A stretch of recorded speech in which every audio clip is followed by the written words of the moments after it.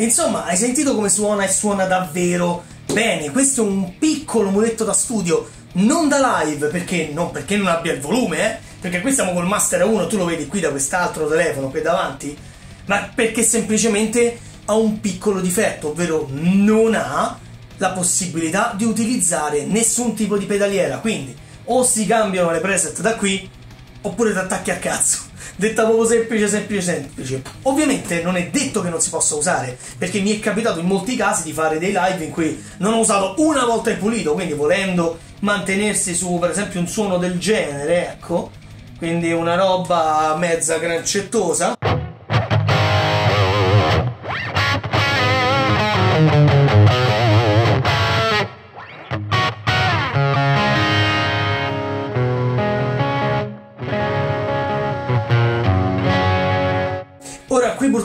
Noise gate che non ricordo come si toglie, ma sono sicuro che si può togliere, devo un attimo vedere il manuale, eh, è un po' più complicato di quello che può essere un Line 6 Spider, però questo qui lavorando con il volume, quindi abbassando il volume della chitarra, pulisce abbastanza bene, non benissimo, si sentono un pochino di artefatti probabilmente dovuti allo smart gate, ma volendo tornare su un suono appunto un po' più distorto e poi posso lavorare con appunto il guadagno dei pick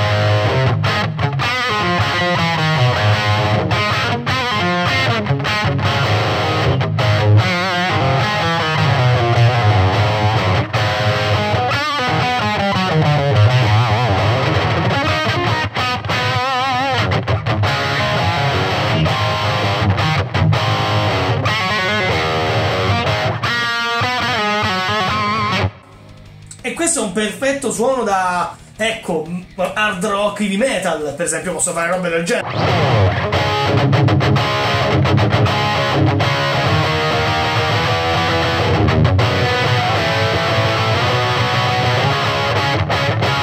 Anche punk, cose così, lavorano tranquillamente.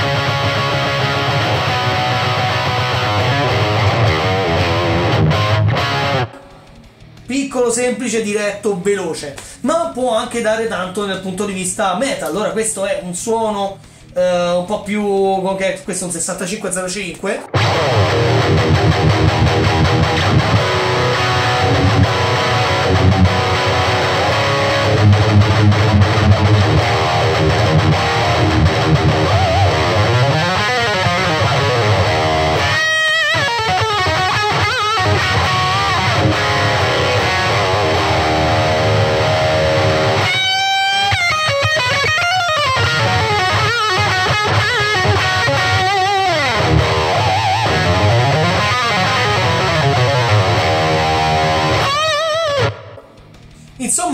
Amplificatore che lavora davvero, davvero bene. Ovviamente ha, come, avevo, come ho detto, dei difetti. Oltre alla possibilità di non poter usare la pedaliera, questo, siccome un amplificatore usato, dopo un po' le manopole si rovinano, ovvero queste qui sono tutti potenti, a parte questo qui finale, sono tutti potenziometri a scorrimento infinito, ovvero io posso continuare a girare all'infinito questo potenziometro.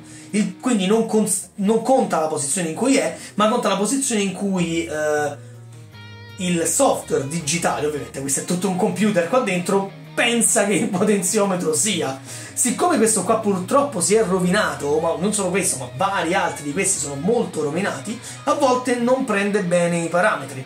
E questo potrebbe essere un problema quando si cerca di fare un suono, ma siccome questo è comunque un amplificatore da studio non ci vedo poi troppo un problema. Ora vediamo un pochino le varie feature. Ha vari amplificatori, in particolare ha due tipi di amplificatori, quelli green, che quindi sono un po' più puliti tra virgolette non in questo caso, e quelli red, che sono quelli distorti ad alto guadagno. Nel caso degli amplificatori, questi qui, eh, come il 65005, quelli già con alta distorsione, semplicemente cambia un pochino il volume. Però andando già su un twin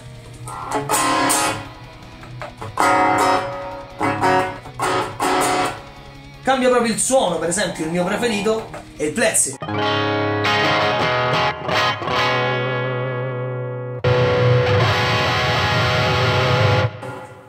Cioè, si passa da un suono ad alto a basso guadagno come niente, ma anche per esempio sul... Uh, che è questo?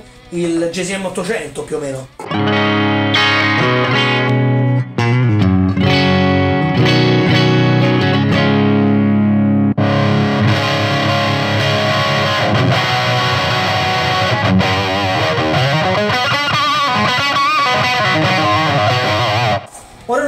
Preoccupando troppo dei volumi perché chiaramente eh, ci vorrebbe troppo per mettersi qui a ricontrollare ogni volta, a regolare tutti i volumi, quindi li regolerò poi in post nella registrazione, metterò un... Um, li normalizzerò tutti allo stesso volume ma sappiate che io qui quando cambio uh, tra, pul tra pulito e distorto c'è una bella differenza di volume perché la preset è regolata in maniera diversa. Poi ovviamente ci sono i vari effetti, qui potete vedere sono da un tube screamer fino a vari flanger, octaver, eccetera, oppure i bypass. Prendiamo per esempio qui nel, nel plexi pulito che ho.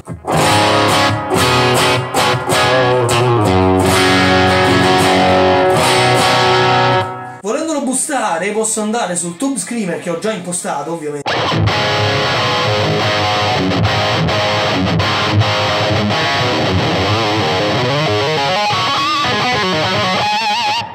faccio notare una cosa interessante. Uh, questa è una simulazione carina. Guarda una cosa. Ora io ho, ho il riverbero a una determinata quantità. Una determinata lunghezza. Se adesso io diminuisco il guadagno del plexi e magari aumento il volume il riverbero diventa più corto, riportiamo il guadagno al massimo. Hai fatto caso che il riverbero aumenta di potenza, di volume? Guarda quest'altra cosa, se ora aggiungo un tube screamer davanti,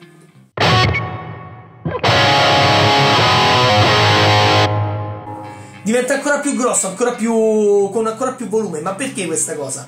Perché semplicemente il plexi non ha un loop effetti non, non, ce l'ha, almeno quelli vecchi, quelli moderni sì, ma il vecchio Plexi non ha il loop effetti. Quindi se vuoi mettere un riverbero, per, perché mi sembra che lui di base non ce l'abbia, lo devi mettere sul preamplificatore. Quindi se aumenti il guadagno, aumenti il volume del riverbero.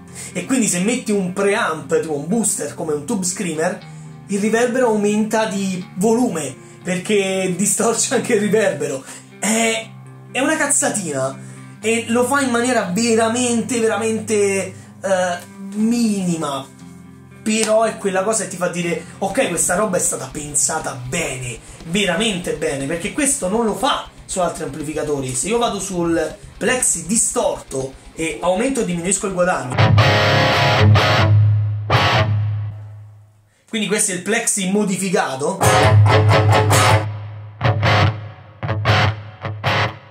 Non lo fa questa cosa. Mentre sul canale pulito sì, è eccezionale, è una cosa che mi piace tantissimo di questo modello di amplificatori, cosa che molti altri simulatori di questa fascia di prezzo non hanno. Ora, ovviamente non è perfetto, i suoni sono abbastanza semplici, niente di particolare, però sono abbastanza carini. Per esempio, se vogliamo andare fra tutti gli amplificatori partendo dal uh, Triple X della P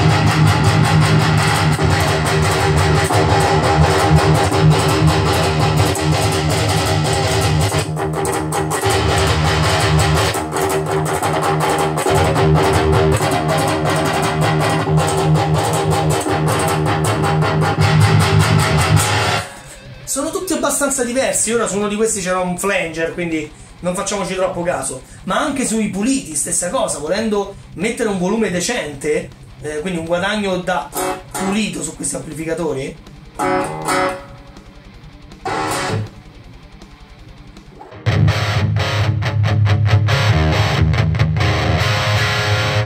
Diventano effettivamente degli amplificatori crunch, per esempio c'era il rectifier che non era affatto male come crancettone.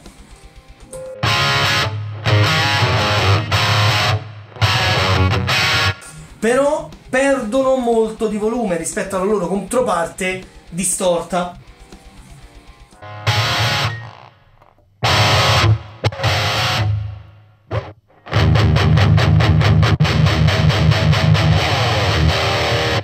Ovviamente, essendoci una simulazione del diesel VH4, perché non provare il suono che insomma uno dovrebbe fare col disco?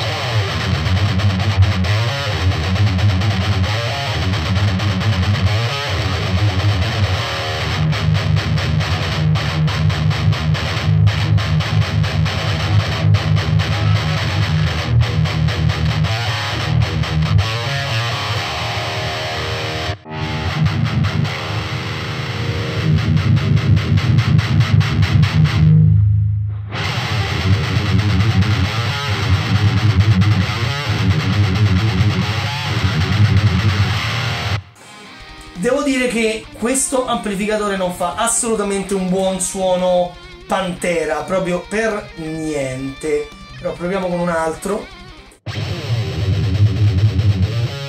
Eccolo!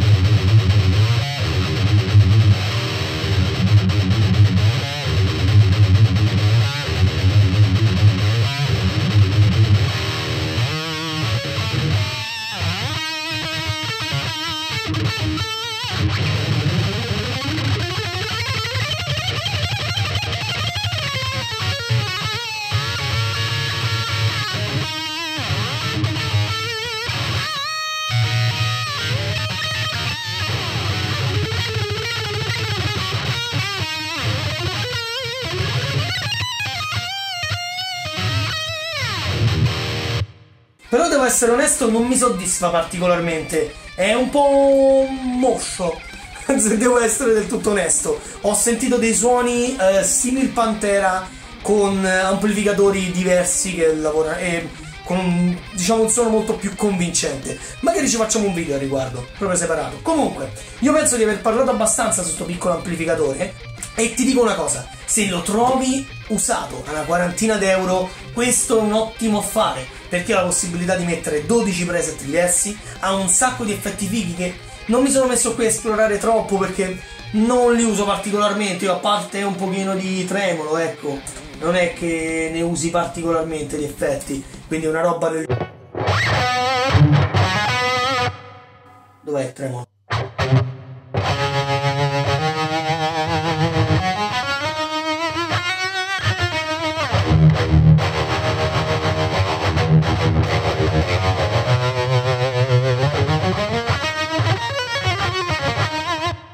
Parte questo, un pochino di chorus ogni tanto, io non è che uso molti effetti, quindi non mi sono messo a esplorarli particolarmente.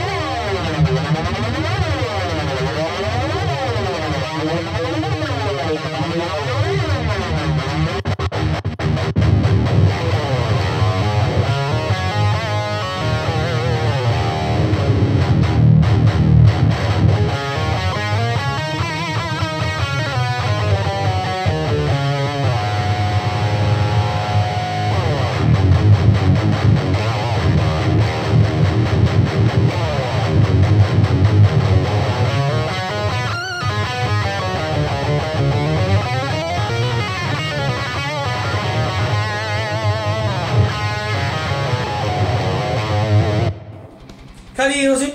Carino, simpatico, ma come detto, non uso molti effetti.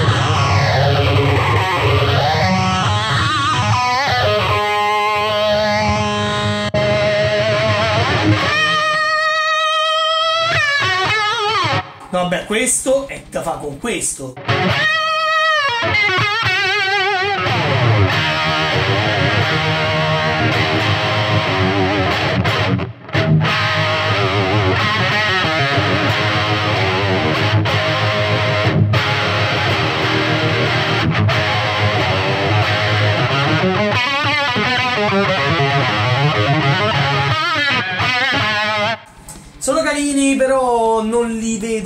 Utilizzabili in maniera particolare, a parte quel phaser ogni tanto, un pochino di chorus e il delay integrato nell'amplificatore. Non è che sia granché. Gli effetti comunque si regolano premendo la manopola degli effetti e ci permette di regolare il, quantitativo di riverbero, il livello e il quantitativo di, di il tempo del delay, uh, il feedback del delay. Il tempo si regola tramite il tap tempo che è qui e per il resto questi sono i due parametri dell'effetto selezionato qui. Possono essere volume guadagno oppure ottava o robe del genere. Quindi, detto ciò, io direi che questo video è durato già abbastanza, ho parlato abbastanza per questo coso, ora devo registrare quello su Line 6, eh, perché io ve lo farò uscire prima, ma quello l'ho registrato dopo. Quindi noi ci vediamo la prossima volta, bella!